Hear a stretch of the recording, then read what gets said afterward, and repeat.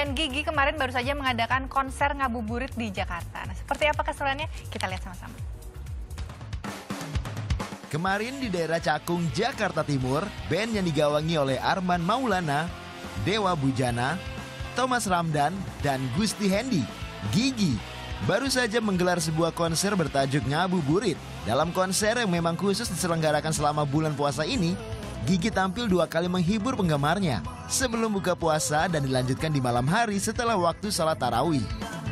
Uh, kegiatannya uh, alhamdulillah lagi jalanin tur ngabuburit ini tahun ke-12 uh, sekarang kota kedua di ini nah. daerah Cakung. Spesialnya ini ini ini belum pernah nih selama 12 tahun kita main di Cakung belum pernah.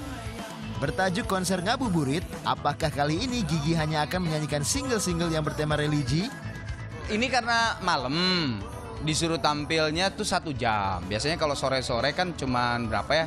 45 sampai 40 lah. Nah ini karena malam katanya suruh panjang ya paling ditambah tiga lagu yang uh, reguler. Jadi ada lagu yang bukan religi. Permintaan dari sponsor juga, permintaan dari CEO-nya juga nggak apa-apa lah kasih lagu yang reguler. Ya dia ditambah.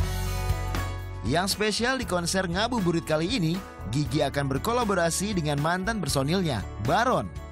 Tak hanya itu, penyanyi cantik Meli Mono juga turut andil bagian dalam show tersebut.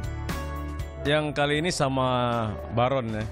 Baron dan dan Meli, Meli Mono, terus siapa lagi ya? Ya, Baron dengan band dengan kelompoknya. Setelah melakukan konser ngabuburit selama 12 tahun terakhir, apa alasan utama Gigi selalu menerima kesempatan tersebut tiap tahunnya? Oh, yang alasannya yang utama sih kalau ya kami berempat selalu bilang uh, dulu pertama banget bikin itu kan memang itu uh, di Indonesia maksudnya yang setelah Bimbo itu kan nggak ada. Terus itu udah ada ada slot uh, ngabuburit yang kita bikin.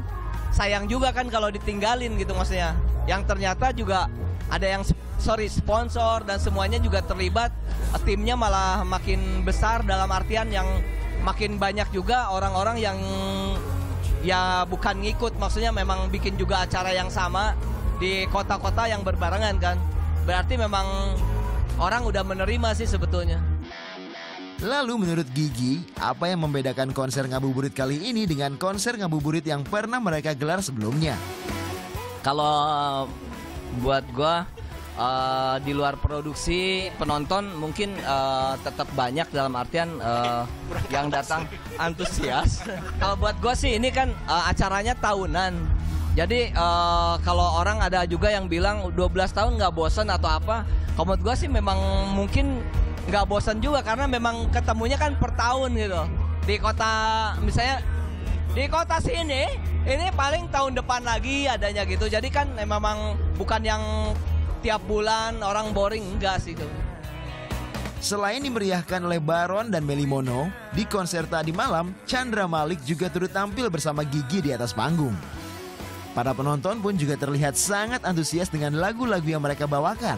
So, sukses terus untuk Gigi dan rangkaian konser ngabuburit yang akan mereka selenggarakan selanjutnya.